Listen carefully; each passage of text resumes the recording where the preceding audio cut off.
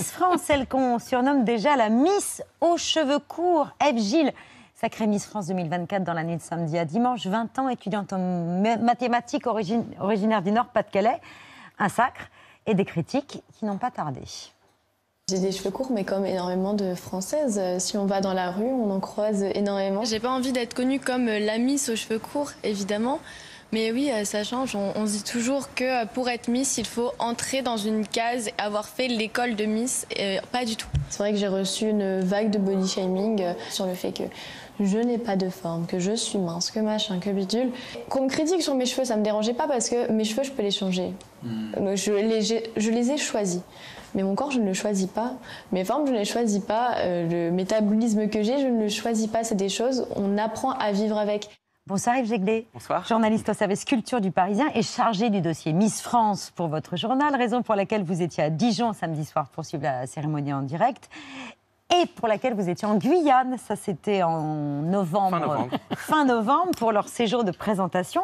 Déjà, vous aviez pressenti la possibilité de cette révolution capillaire parce qu'on ne pouvait remarquer que cette jeune femme parmi les 30 candidates, notamment à cause de sa coupe de cheveux? Là, ça fait 48 heures qu'on parle beaucoup de ça, donc ça, semble déjà fatiguer un peu les gens. Mais le, jour du départ en Guyane, euh, donc je crois le 19 novembre, c'est vrai qu'à l'aéroport, euh, il y avait 30 euh, Miss et, et elle décoiffait, si j'ose dire, parce que euh, moi, j'avais jamais vu une candidate, même régionale, et, élue avec des cheveux courts. Donc ça, c'est quand même, oui, une, petite révolution, en tout cas, dans, dans, cet univers-là. Dont elle était consciente. C'était tout sauf un détail pour elle, cette coupe de cheveux. Déjà dans son parcours, et aussi, elle savait bien que c'était assez inédit pour un, un concours euh, comme celui de Miss France. Oui, oui, d'ailleurs, parce que moi, c'est la première Miss que j'ai interviewée en Guyane, parce que forcément, ça, ça faisait déjà parler sur les réseaux sociaux il y a, il y a un mois. Et elle m'a dit oui, je crois que je suis la première. Et euh, c'est quelqu'un qui sait très bien ce qu'elle veut. Elle a envie d'être Miss euh, depuis longtemps. Elle s'est préparée de manière euh, très, très, méthodique, avec beaucoup de volonté. Donc oui, oui, c'est tout à fait conscient. Bon, la révolution capillaire a eu lieu samedi soir. Elle ne s'est pas faite sans susciter la polémique, la coupe de cheveux, mais sa minceur encore plus particulièrement. Ce qui l'a blessée et ce qui est quand même le signe qu'il y a des clichés qui persistent sur à quoi doit ressembler une femme et qui plus est une belle femme aujourd'hui en France. Oui, absolument. Elle, a eu une phrase très forte le, soir de l'élection. Elle a dit euh, il y a les on a les formes qu'on a ou qu'on n'a pas. Mm. Et je trouve que ça cloue le bec à des décennies de, de regards, notamment masculins, mais aussi féminins, avec euh, mm. voit le triomphe de la chirurgie esthétique. Il faut avoir des seins comme ça, il faut avoir des fesses comme ça, il faut avoir des courbes. Et finalement, euh, bah, elle dit écoutez, c'est quelque chose qu'on ne choisit pas. Et c'est presque incroyable qu'il faille dire ça, en fait. Mhm. On ne choisit pas.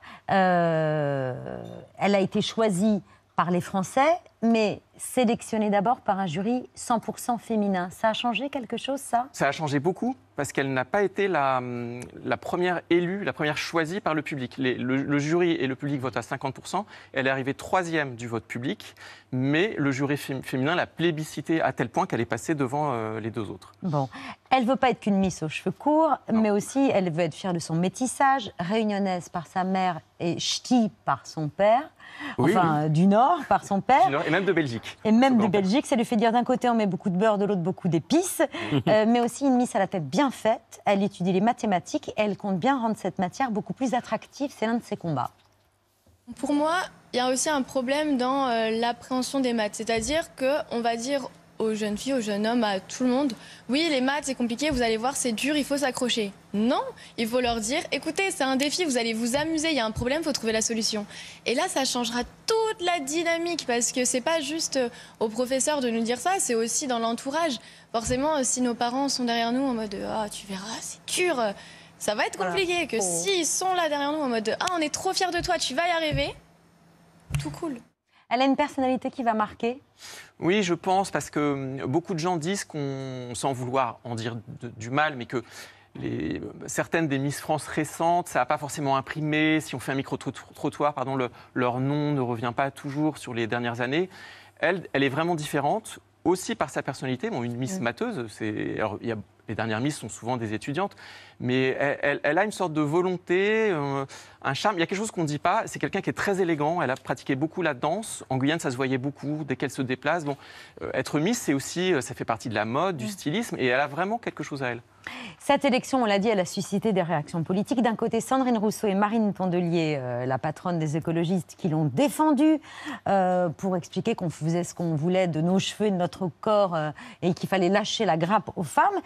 Et puis, il y a aussi les réactions de Sébastien Chenu et de Fabien Roussel, fiers que le Nord ait gagné un quatrième tête en huit ans pour la région, après Maëva Cou, Camille Serre et Iris Mittenard. Nous, on est très cocardiers euh, dans, dans- dans le Nord-Pas-de-Calais, dans les Hauts-de-France. On est très content d'avoir une Miss. C'est pas la première d'ailleurs. 4 Miss France du Nord-Pas-de-Calais en l'espace de 9 ans, euh, franchement, euh, ma région, terre de Miss. Elle est différente et elle est superbe. Il n'y a aucune raison de lui faire des procès d'attention. C'est même un challenge euh, dans un concours de Miss France de défendre le droit à la différence. J'espère qu'après les Miss France, on aura des Mister France euh, qui viendront également euh, du pour La politique qui se niche partout, Jérôme Jaffray, même Ah, dans un concours de Miss. une aisance à, à commenter tout cela, c'est remarquable. Mais cela dit, c'est un petit débat politique quand même, ce qui se pose. C'est-à-dire, au fond, effectivement, la liberté des femmes. Euh, et et- et la- re- qui représente les femmes comme Miss France, symbole, si vous voulez, de la belle femme par excellence dans l'imaginaire populaire. Donc ça compte, c'est une réussite. Et puis moi, ce que j'aime bien, j'aime pas trop le concours, pour tout vous dire. Pourquoi? Mais parce que, bon, il est quand même un peu passéiste, le type de concours où on fait défiler des miss pour trouver euh, une fille, euh, qu'on les fait défiler comme ça, ça ne m'emballe pas. Mais la lauréate me plaît. Elle a du caractère.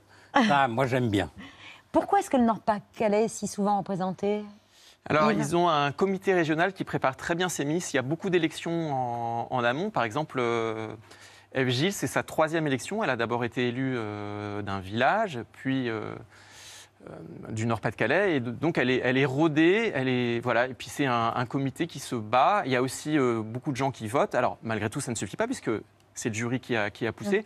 Je pense que c'est une région voilà, où on aime bien euh, ces fêtes, justement, populaires.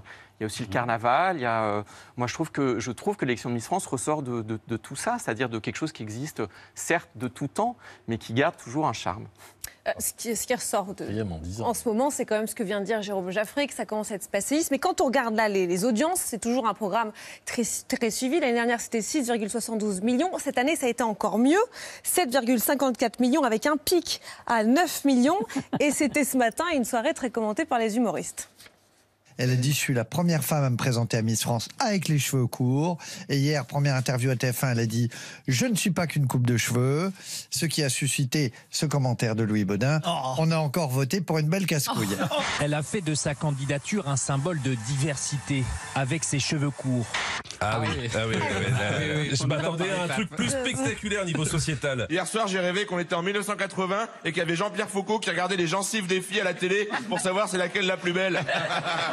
Et en fait, non, j'étais pas en 80, j'étais devant TF1. Scandale à Miss France. Victoire d'une jeune femme portant une coupe courte. Le président Millerand interviendra-t-il pour annuler cette élection forcément frauduleuse? D'un côté, on essaye tous d'être féministes. Et de l'autre, il y a TF1, tous les ans, ils arrivent. Coucou, c'est que Alors, son boule sur 10, vous lui mettez combien?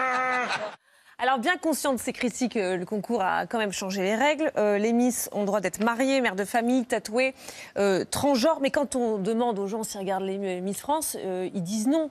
Euh, ça se dit pas encore. Alors, c'est quoi? C'est passé? C'est pas passé? Qu'est-ce que vous leur répondez Mais à ceux qui même dans ce que vous venez de dire, c'est très paradoxal parce que vous dites euh, tous, enfin pas tous, euh, c'est une élection un peu passéiste. Et puis de- dès qu'une Miss est un peu Jérôme différente, Jaffray, hein. je le dénonce Oui, oui. pas, mais c'est ce monsieur-là à ma droite, à ma gauche. C'est ce qu'on vient d'entendre dans le mais- non, mais Oui. c'est- c'est J'ai pas dit qu'elle était très bien, la lauréate. Oui, non, mais c'est passéiste. Et puis dès qu'une Miss est différente, tout le monde lui tombe dessus. Là, les humoristes, honnêtement, c'est un peu sexiste. Oui, On se moque des gencives des Miss, mais on pourrait se moquer des gencives de n'importe qui, des humoristes par exemple. Il y a- je trouve qu'il y a toujours une permissivité. Les Miss, c'est une soirée où on se défoule. Il y a ceux qui aiment, et puis il y a ce jugement. Moi, je trouve que ça manque un peu d'indulgence. Donc, après tout, ce débat fait aussi très bien vivre l'élection. D'ailleurs, ça l'a fait ça, bouger. c'est on- le, concours qu'on aime bien détester. Quoi. Eh, Le pire, c'est qu'on ne parle pas de vous. Qu'on parle de vous en bien ou en mal, c'est c'est pas mal. Il y a des associations comme Oser le féminisme, pardon, Oser le féminisme qui ont fait avancer le concours. C'est eux qui ont fait bouger les règles. Mmh. Cette année, il y avait même une Miss tatouée avec un tatouage bien visible. Après, euh, bah oui, Qui a, effectivement. fini, euh, qui a fini je- combienième, la Miss tatouée on n'a pas le classement des 30. Elle n'était pas dans les 15. Elle n'était pas, elle était pas dans les 15. Mais Pas ce qui est quand même 15. marrant, c'est a- que le nombre de collègues ou de personnes que je connais qui m'ont dit Oh là là, tu, tu nous bassines avec tes articles. Et tous le lendemain, alors elle est comment Miss France euh, Il y a quand même quelque chose de.